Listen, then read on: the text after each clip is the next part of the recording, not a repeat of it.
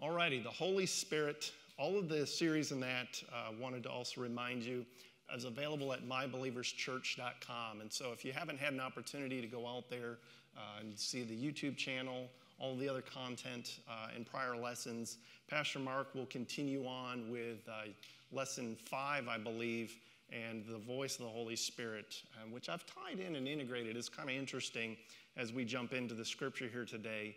Uh, I have to say that uh, I was a little bit convicted a couple of Sundays ago when uh, all of a sudden Pastor Ryan stands up and says, Yeah, we're going to do Ephesians 4. I'm going, Really? You're, you're killing the, the, the concept and the content that I was looking to do. But honestly, uh, he did a wonderful job starting in Ephesians 4.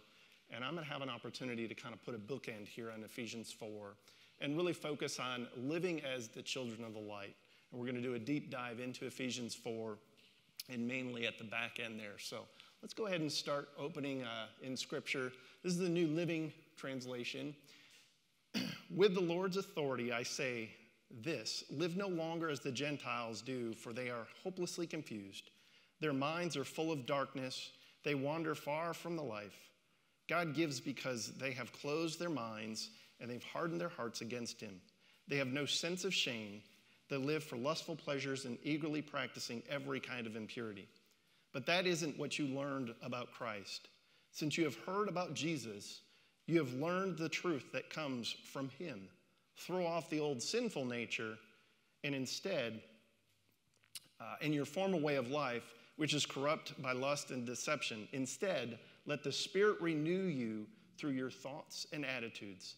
Put on a new nature, created to be like God truly righteous and holy. So stop telling lies. Let us tell other neighbors the truth, for we all are part of the same body. And don't have sin letting anger control you. Don't let the sun go down while you are still angry, for anger gives a foothold to the devil. If you are a thief, quit stealing. Instead, use your hands for good, hard work, and then be generous to, to others in need. Don't use foul or abusive language. Let everyone you say be good and helpful, so that your words will be an encouragement to those who hear them. And do not bring sorrow to, the, to God's Holy Spirit by the way you live. Remember, He has identified you as His own, granting you, guaranteeing you that you will be saved on the day of redemption. Get rid of all bitterness, rage, anger, harsh words, and slander as well as the type of evil behavior. Instead, be kind to each other, tender-hearted, forgiving one another, just as God, through Christ, has forgiven you. Amen. So today, what I've kind of just walking through the, the content, um, learning this verse and specifically chapters 30 through 32, and applying that to just situations in life, I'm going to spend time uh, mainly in the NIV. I'll bring in a little bit of King James, uh, but kind of walking through this verse by verse and breaking down this case for you. And so on your worksheet, you'll be able to follow along just as uh, we do on our series here with the green check mark. You have an opportunity to kind of dig in with me here. And so, really, as we look at this case against grief, the first thought comes out, and the thought ties into what uh, we've been talking through as initially in this uh, Holy Spirit lesson three, lesson four, kind of last week. I was talking to Pastor Mark, and he started bringing some Genesis in, and said, you know, that, this ties in really nicely. He goes, you know, I would encourage you to kind of think about how that fits in. So if we think about this, what was brought up in lesson four is the environment that we bring with us in life matters to God. That was a thought slash question last week. And I say, well, yes, how we live as humans and reflect the Holy Spirit in our daily lives, both in words and actions, declare we are God's. And when we align with God, nothing can remove his seal. So that's the premise as we jump into Ephesians 4 30 through 32 here. So if we look back here at our scripture, and this is the NIV, as I said, kind of tying together a lot of pieces and parts to our case. So this one is and do not grieve the Holy Spirit of God, for which you have been sealed for the day of redemption.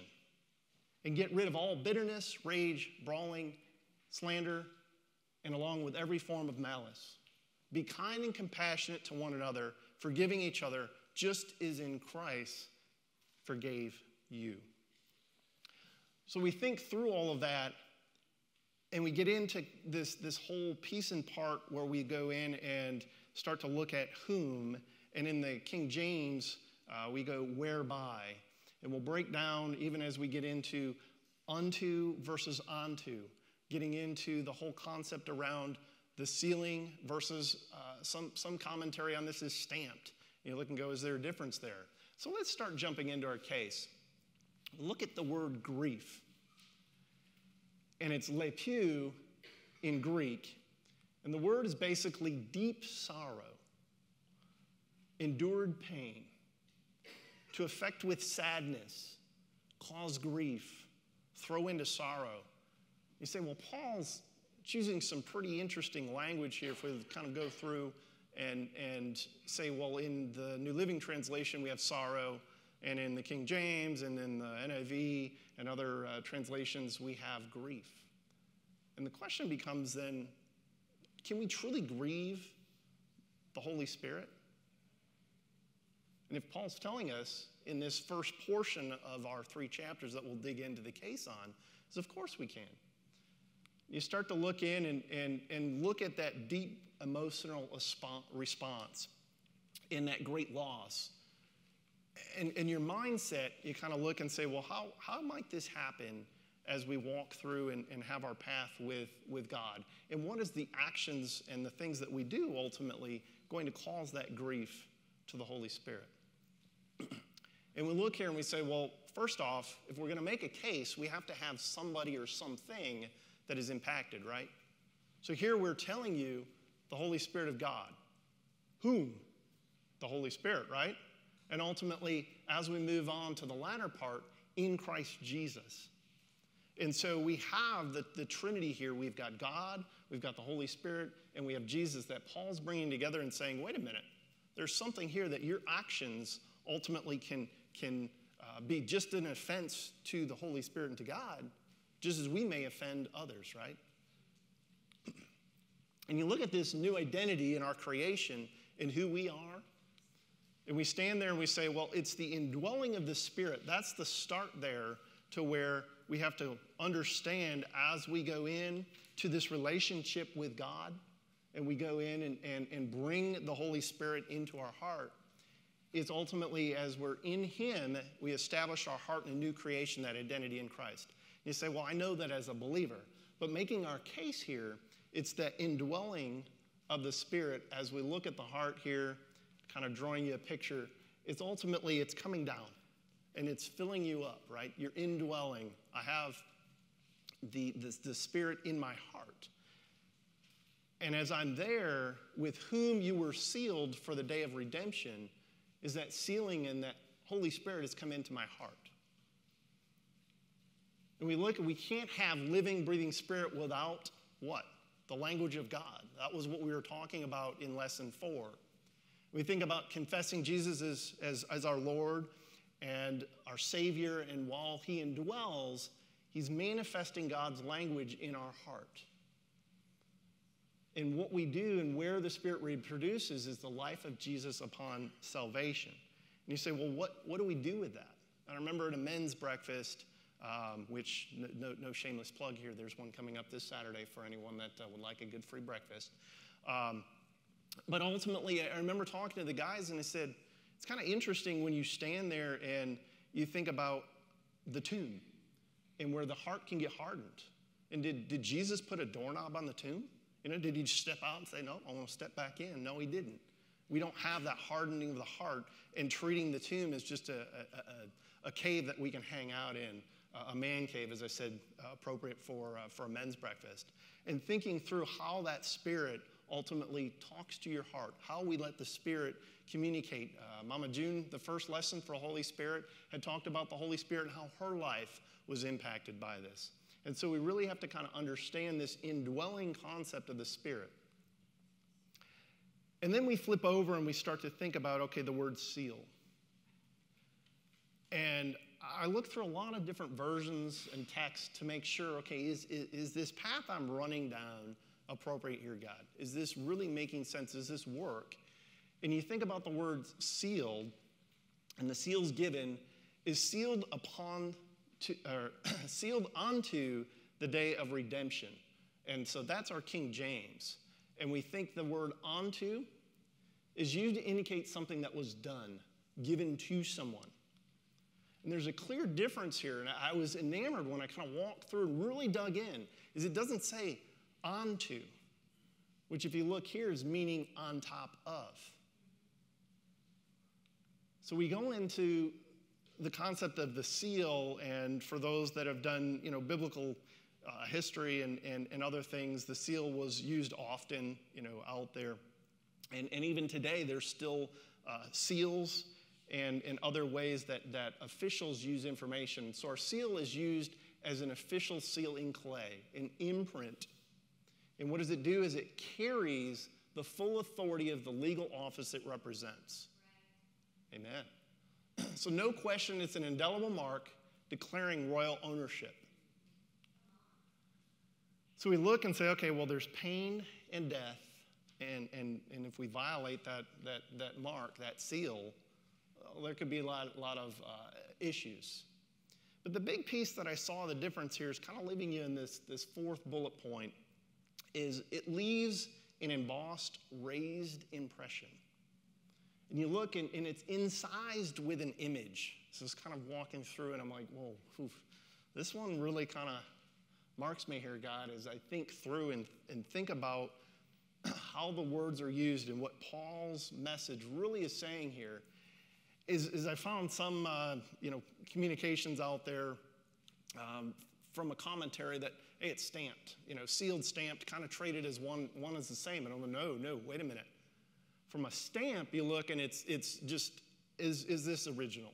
You know I could be original in, in Jesus. I can be original with with the Spirit. Uh, it's a signature and an emblem with ink on top of.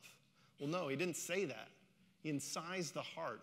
Just as Jesus took the pain, the suffering, and all of that at the cross, we look to say, okay, if I'm in, in, incised by this imprint, this seal, it's something different.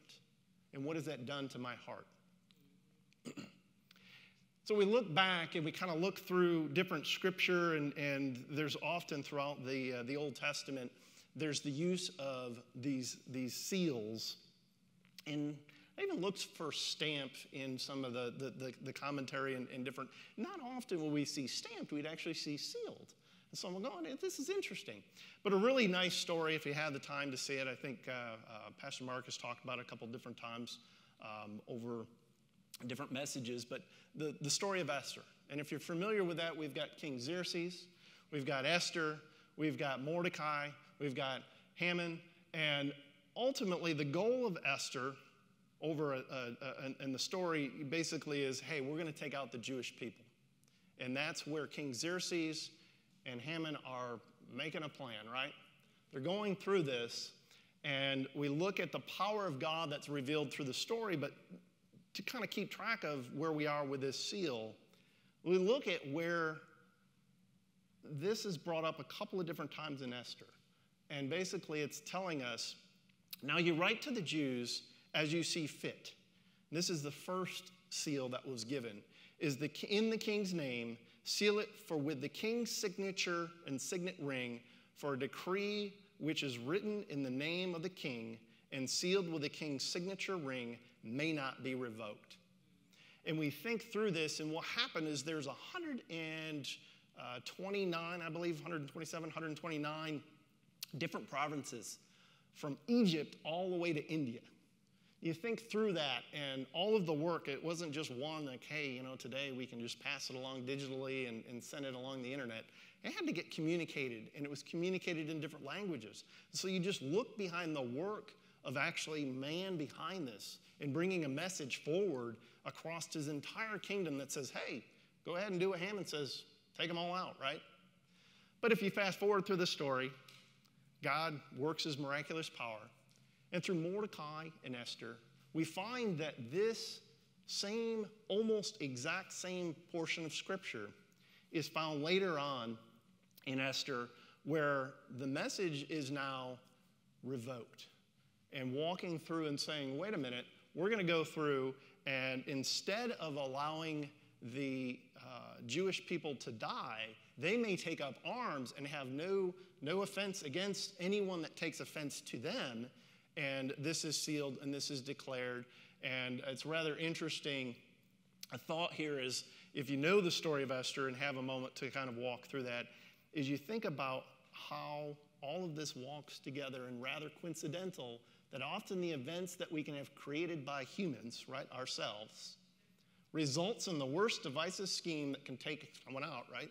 In, in this instance, uh, Haman's working to take out the Jewish people through the power of King Xerxes. And we have Mordecai stepping in, and Mordecai is, is an individual that, you know, they're wanting to take him out. And ultimately, by this, it can turn to be used and reveal the sin of the accuser, Haman themselves. Sorry to break the story if you've never read it, but he's ultimately impaled on a pole that was meant for Mordecai. And so you walk through that and you say, even in the power and what's decreed through man, in this, this, uh, this whole usage of a stamp meant something. There was a grave authority there behind that, and everyone obeyed that law, that rule. So we fast forward here. Hopefully, you're very familiar with this scripture and the story of what happens. Is basically we walk in and Jesus has died. He's, he's died on the cross, and his body is given over uh, to Joseph and in terms of bringing him into the tomb. And they basically pick us up in Matthew 27, uh, verse 62 uh, through 66 there. And basically, jumping in, the next day on the Sabbath, the leading priests and the Pharisees went to see Pilate. They told him, Sir, remember that the deceiver, this is Christ, once said, while he was still alive, after three days, I will what? Rise from the dead. So we request that you seal the tomb. And ultimately, we have that signet, that seal. Seal the tomb until the third day. This will prevent his disciples from coming and stealing his body and then telling everyone he is raised from the dead. If that happens, we'll be worse off than we were at first. And we look through this, and, and it's kind of interesting how I need human authority. I need man and, and, and power and authority of government to come in and do something that ultimately we know God. Uh, we know what, what happens a few chapters later, right? Uh, ultimately, Pilate replied and said, Take the guards, secure it the best you can. So I'm even standing there going, Well, I wonder, you know, reading that and you go, Did Pilate know something was going on? Like, hey, I'm just do what you got to do, right? No ultimately, so they sealed the tomb and posted the guards to protect it. And if we look through this and understand the human authority, is the importance that the guards witness the sealing. So this was even an endeavor itself. It wasn't, hey, somebody just walked up, boom, let's seal the tomb and we're good to go. This was an orderly process. They were responsible for what was sealed. So those guards were responsible for the body of Jesus ultimately. we look through this and watching the Roman guards, watching this carefully, is both their careers, their lives, uh, ultimately their lives, they were at stake. I mean, you, you die if you don't do what uh, ultimately you have to do, and if anything is broken there with that seal. Roman seal carried the legal authority to break a Roman seal was to defy human or Roman authority. And we come here and we look and we say, well, the tombstone was secured by all the authority of the Roman Empire. But what happened? Didn't stick, did it? Didn't stick at all. And so it's, it's really kind of interesting as we walk through this. Uh, and and we, we, we understand even in Acts 2.24, but God released him from the horrors of death and raised him back to life and the death that could not keep him in its grip. And amen, we know that even the seal of man, we look through that. There's something different if we're trying to make a case here of Ephesians 4:30 and really that whole point of not grieving this spirit, this, this grief that a living God can have, and ultimately coming through and, and sealing our, our peace there. So we look at this legal reasoning that we're trying to make a case here, and as we said, we've been sealed for that day of redemption. So we have proven whom, right? The actions were took place for, for ourselves and by the Holy Spirit. We have a purpose that the Holy Spirit is through and in us to the day of redemption. And there's a high degree of pain and sorrow here. You kind of look and go, well, well, why? So if we're trying to understand this, the question then becomes just why the case, right? Why the case? But even as we look at this, the most interesting piece is what Paul is, is trying to really get at with us is just the fundamental of, of, of Christianity is getting rid of sin. And this is really interesting how he lays even this out because you go, well, geez, that's kind of Christianity 101. It's, uh, I, I, I, accept Jesus and he's my Lord and Savior. And he know he died for my sin. And ultimately, because of his death, I've atoned and, and been renewed and I've, I've been given the Holy Spirit.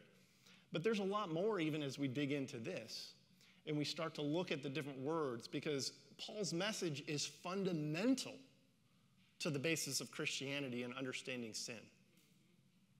And this really kind of hit, hits hard. This was a verse that, that, that just often kind of comes up in my heart, runs through, and from 30 to 32, and just working through life, working through the things, seeing different uh, uh, issues and images that, that, that can occur out there. And we start to find that the depth of sin really sort of uh, inter- intertwines here with what Paul's saying. And we come in and, and, and our bitterness is the jelly and, uh, jealousy and improper attitudes. It's dissatisfaction.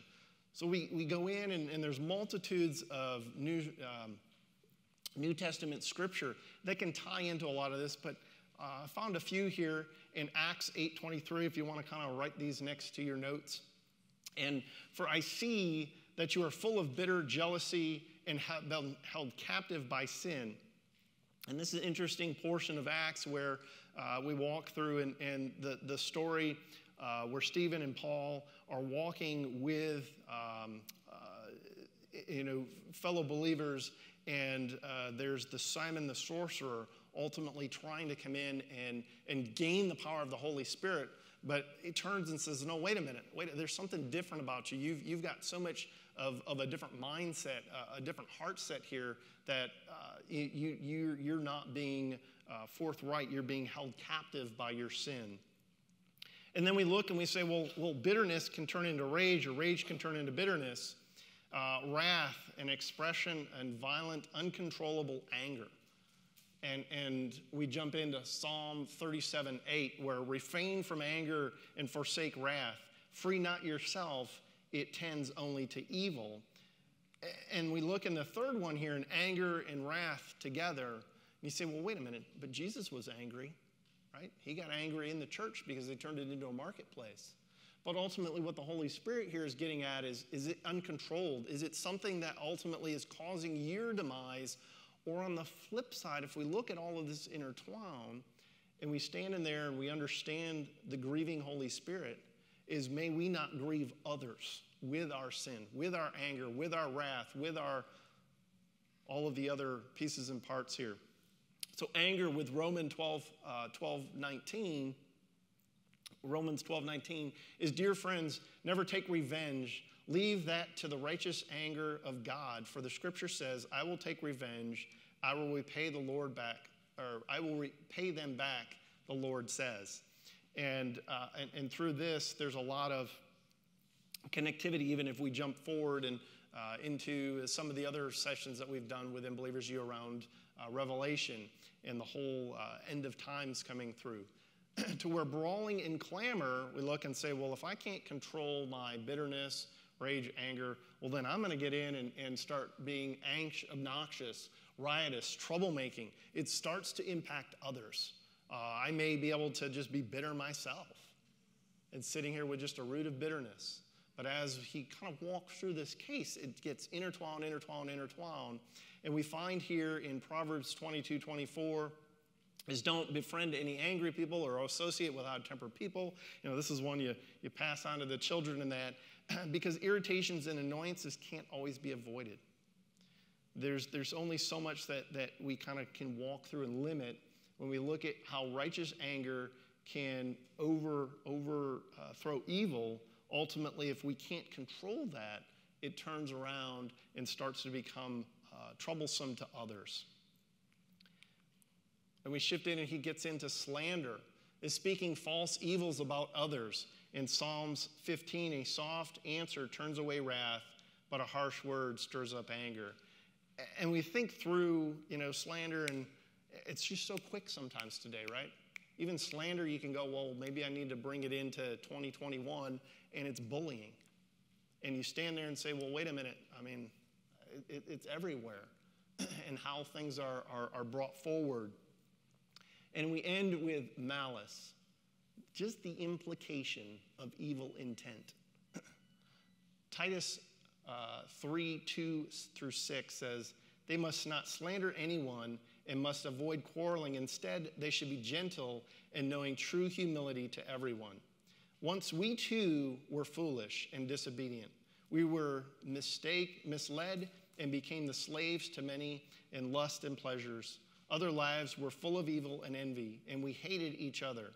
But when God our Savior revealed his kindness and love, he saved us not because of our righteous things he had done, but because of his mercies. He washed our sins, given us a new birth and a new life through the Holy Spirit. He generously poured out his Spirit upon us through Jesus Christ our Savior.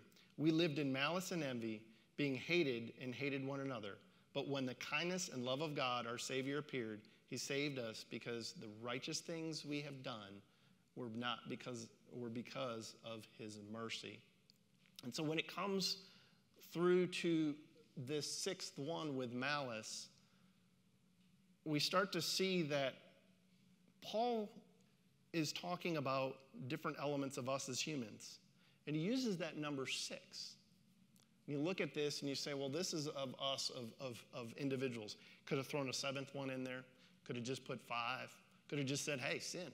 You know, that, that's the basis here. But it all intertwines and it comes together in a thought. It really kind of had me thinking through in, in order to get rid of all and enter freedom, we must experience God through seeking out the Holy Spirit and have a new perspective, both heart set and mindset. You may not have heard the word heart set, and that was uh, one that I've, I've, used in different, different messages. And, and it really kind of becomes this whole pathway that walks through and makes us think, well, this Holy Spirit, this, um, this, this, third part of the Trinity, that I, I can get God, I can get Jesus, but this, this thing that is this breath and, and this life living inside me, how does this impact who I am and what I do each and every day? And that kind of comes through and says, well, get rid of all. It's really allowing us to say, can we walk into that freedom and understanding with the Holy Spirit, that Holy Spirit inside us and with us is what Paul's asking us to do is really understand, but because of the cross, there is no height nor depth, no length or breadth that's insurmountable. And that caught my uh, attention last week. I was thinking through that and saying, you know, it, it's, it's really the play there on earlier Ephesians, and we'll come to that in, in a little while in the conclusion, but thinking through and saying, uh, ultimately, it all just ties together. So, making that case for the Holy Spirit and against grief, we stand there and say, well, wait a minute, we've, we've got the Trinity here. And truly, if, if an individual doesn't understand what the Holy Spirit means, Paul's trying to tile this back, get it into our world, our mindset, and even today, uh, what's applicable there.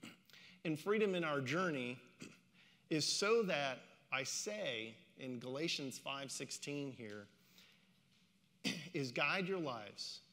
Then you won't be doing what your sinful nature craves. The sinful nature wants to do evil, which is just the opposite of what the Spirit wants. And the Spirit gives us desires that are the opportunity of what the sinful nature desires. For these two forces are constantly what? Fighting each other so that you are not free to carry out your good intentions.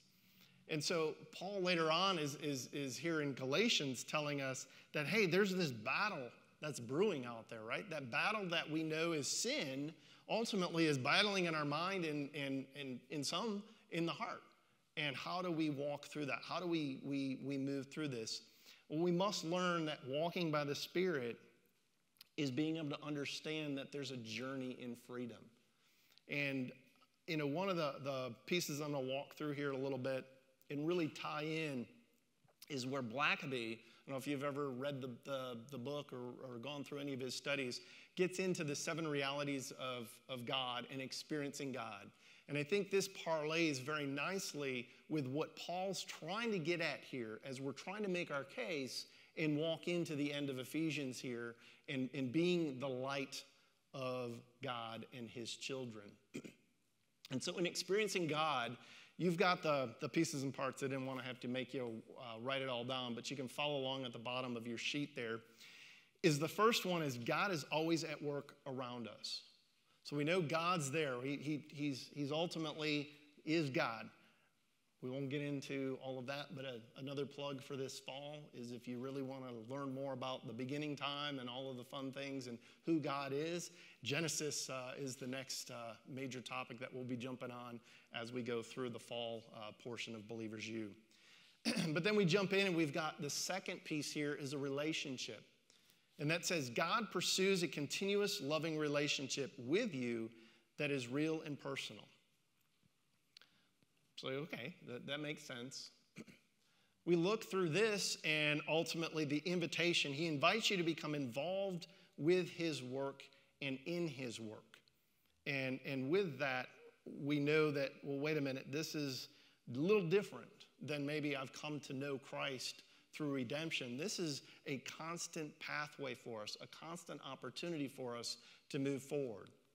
And we look through, and, and God speaks. And God speaks through what? The Holy Spirit, through the Bible, through other people, through circumstances, and also through the church, which is revealed through Himself, His purposes, and His ways. And we come to understand and know that as God speaks, this is really where it's kind of interesting, and I'm going to spend some time around this in the next couple here and tie this case uh, back to our case for Ephesians 4. And what happens with this crisis of belief is God's invitation for you to work with Him. It always leads you to a crisis of belief that requires faith and action. And this is rather interesting as we tie this through to number six. You must make major adjustments in your life to join God in what He was doing, or what He is doing, not was, is doing. He's a living God. And then ultimately, we get to this last piece of this journey that's constant is you come to know God by experiencing as you obey Him and accomplish His work through you. And so this is not just one of us ultimately out there, right? We all own our 50 feet as we're, we're, we're given the opportunity here at Believers, is it's tying together and it's being in, in, in purpose with God. And ultimately, it's, it's a constant cycle, is what Blackaby gets at. It's a really fun, interesting study. Uh, if, if, you uh, would, would like the information, I can certainly connect with me afterwards and give you a link and, and you can look it up out there. Or just uh, go Google Experiencing God if you've not ever done this. And, and, there's some good key information there, and it's very helpful. And, and some of it may be basic, but also there's a lot of bigger parts here that, that Blackaby is getting at. And where I wanted to focus some time and attention is taking a closer look at, at what's critical in understanding this adjustment. Is this is where we start to go in and say, wait a minute, this is where ultimately I come in and it's my mindset is my mindset that, oh, well, it's okay. You know, I, I'm, I'm just thinking bad thoughts or, or bad things. It's malicious. and ultimately, it's okay. You know, and, and I can come back here. I might, oh, you know, I believe in God. I'm back here and in my crisis of belief. And what can happen is if that takes root, that bitterness, even, if we, we tie to the first part of Ephesians 4 31 um, there, in the bitterness, and we start to say, well, what has God told you? Right? You're not to be bitter. You are His. You're wonderfully made. You are God's. And walking through this and ultimately saying, well, our heart and our mind through the Holy Spirit is aligned back to obedience and experiencing God. Because if we constantly are in this mode of where we're grieving the Holy Spirit, we wonder in our circumstance, ultimately sitting there at, at, at step five, or even we go back to step four. Say, well, God, did, did God really say that? Did the Holy Spirit ultimately come down and touch me and say these things that ultimately allow me to continue on and, and be obedient and experience God? Or am I sitting in a mode to where I'm there wallowing and turning bitterness into anger and anger into wrath and wrath into slander and malice in this constant cycle and wondering why am I not moving along? Why isn't God working? And that's a hard, hard uh, reality sometimes to be in. But then we look and we say, well, why are we here? You know, why are we a part of this? As well as why are we a part of the Sunday services and other things? We're called to be there on others' path, to where ultimately, if they're in that fifth cycle is we need to help in the sixth cycle. And you look and say, well, wait a minute, adjustments. Number six, is there a coincidence that here we are to adjust and be a part of each other's lives to where we can be obedient and there, God's number, number seven, be there along his path and doing the things that he's called us to do. Amen. So, bigger is the question is how we allow the Holy Spirit to guide us so that we may do his work and ultimately bring the, the, the kingdom forward here on earth. and so we look at how the case continues in the spiritual outflow. And as we go through the case, we started with what? The indwelling of the Spirit, right? Comes into my heart. I've got the indwelling of the Spirit. And then ultimately we say, and the infilling of the Spirit, which if we look to the infilling, there's a lot of power here as we establish the heart in a new creation and identity in Christ. But we say, a kind and compa- be compa- kind and compassionate to one another. This is verse 32. Forgiving each other just as in Christ God forgave you. And this one is where we may stumble. We may be sitting there in the Indian position with our face down at step five in that crisis of belief and going, but wait a minute, no, stand up, pull up the bootstraps, because guess what? Through Christ, I've been forgiven. I'm a new creation, and ultimately, as I walk through this, I need to also be what? Forgiving to others. and we walk through this again, is we cannot have the living, breathing spirit without the language of God. So we're back to understanding the Holy Spirit as that language of God in my heart. And when confessing Jesus as Lord and Savior, where the Spirit indwells, manifesting God's language in our hearts, where the Spirit reproduces the life of Jesus unto salvation through now, this is where we pick up the infilling of the Spirit, outpouring the power and boldness of Christ through us. And so our infilling now becomes the opportunity where we are baptized in the Holy Spirit.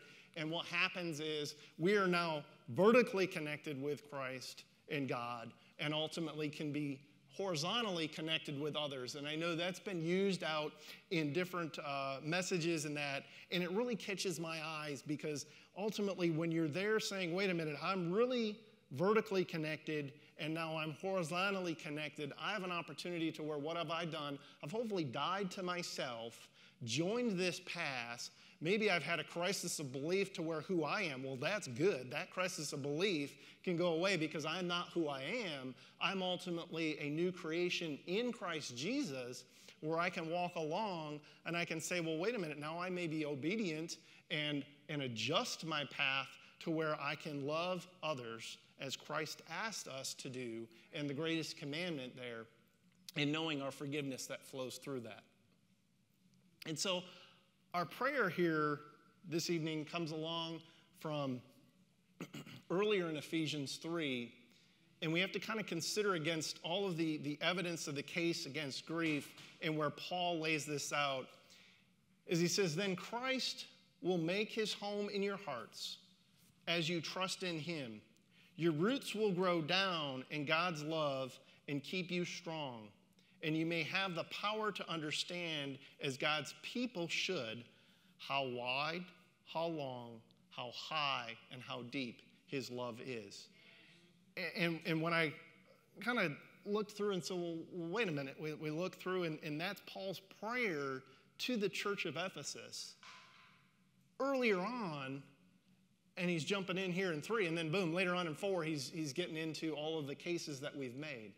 And we stand there and know that ultimately, if we can truly understand where God is in this whole big picture of our lives and the things that can happen out there, that ultimately it, it just boils down to his love.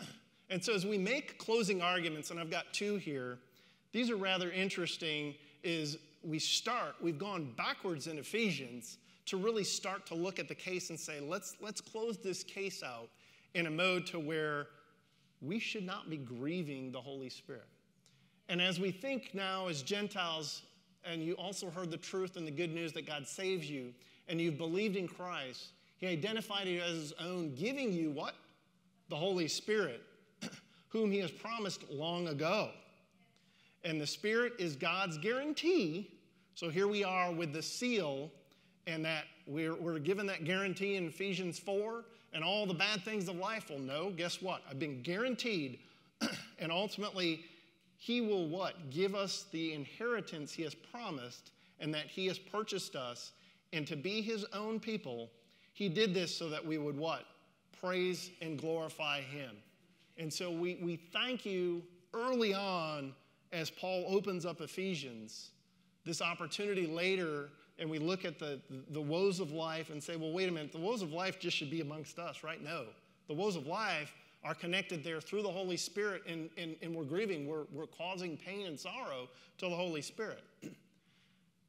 and if we can't have a strong enough agreement with Ephesians 1, we look to Colossians. This is one of my favorite verses. In just knowing that in all things, if we have to kind of understand who Christ really is, and through God and the Holy Spirit in Christ, is that what? For all, are in Him, who's, who's what? In Jesus, all things were created. In God, all things He created. And things in heaven and on earth, visible and invisible, whether thrones or powers or rulers or authorities, all things have been created through Him and in Him, for Him and he is before all things, and in him all things hold together.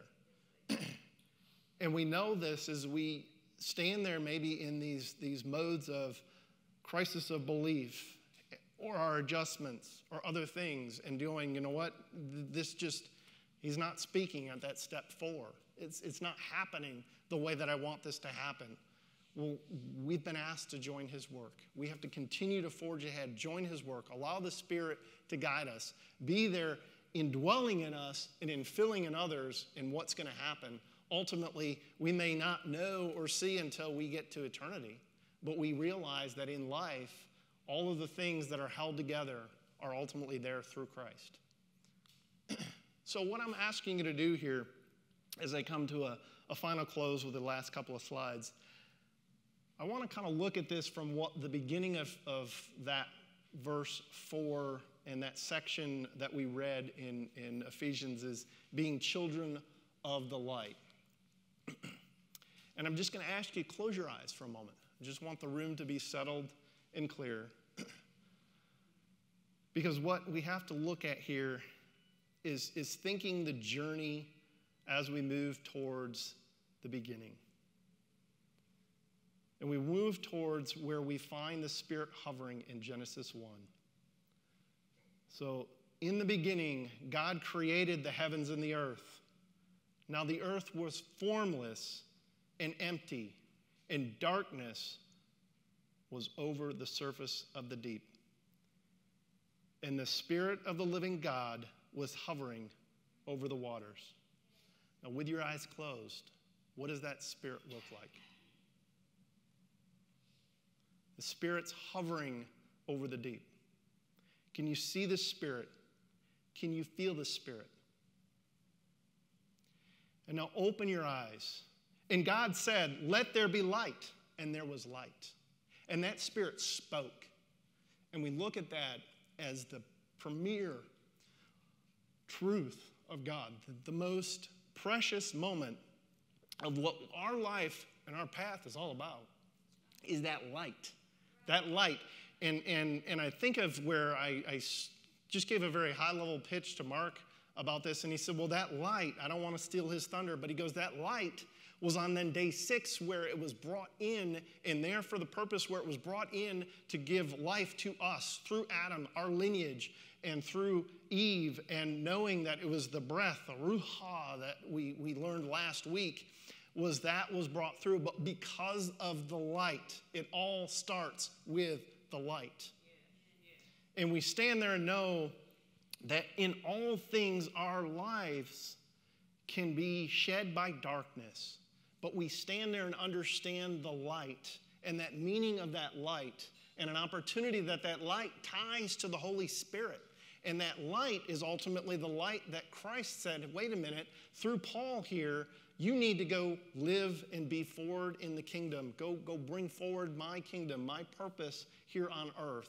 And so, as we're called as children of the light, may we not bring and walk backwards and bring grief to the Holy Spirit because the purest form of light is who we need to ultimately look and know that it was that light that created everything, and what was spoken of the Holy Spirit created the light and allowed us to now be in our path here with God, with God, and that His light will shed out and kill any and all sin if we allow it to do so.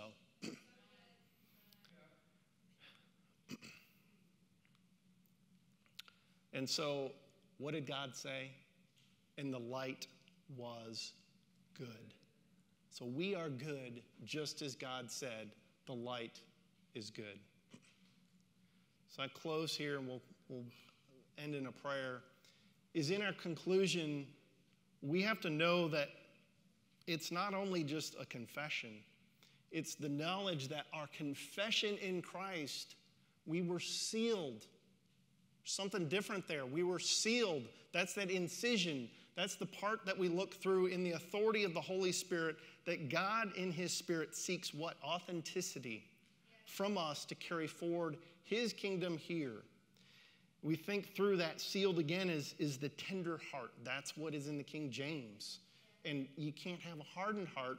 An incised heart is going to be tendered. There's going to be wounds that you may have, but it's remaining with that tender heart. And when we go with God, our perspective must what? Change in both our mindset and our heart set. And we're called to make adjustments in order to live as children of the light. Amen. Thank you for the opportunity to uh, share this message today. I hope it provides you maybe some, some knowledge, some information, but I also ask that we're called to share the message, right? We're called to go out and spread the good news. And so, for those that may have challenges in life, the bitterness, the sin, the things that, that can occur, uh, is, is hopefully the message here allows an opportunity for you to see the word just a little differently, to understand that the transformation that Paul had in his life and the Holy Spirit and how he impacted him uh, through Paul and all of the other disciples and apostles is that our word from beginning to end is all of God and all there for us, and we thank you for that. So let's close in prayer. we thank you, Heavenly Father for today. We thank you for the words that you've given to us, and we thank you for uh, all of those that showed up here. We just ask, Lord, that you reach down and touch each individual in their minds and have the appropriate mindset for you and also the heart set that you've uh, given the opportunity for us to have through that relationship with Christ. We ask that you give guidance and protection as we go out and travel and bring forth your kingdom. We thank you for all of the things that you've given to us and you will only continue to do because your promises are yes and always and amen. We thank you in Jesus' name we pray. Amen. Thank you so much for joining us on the Believers Church YouTube channel. If you would like more information about Believers Church, you can visit mybelieverschurch.com. If there is anything that you need prayer for, please email us at amen at mybelieverschurch.com. Be sure to check back next week for a brand new message.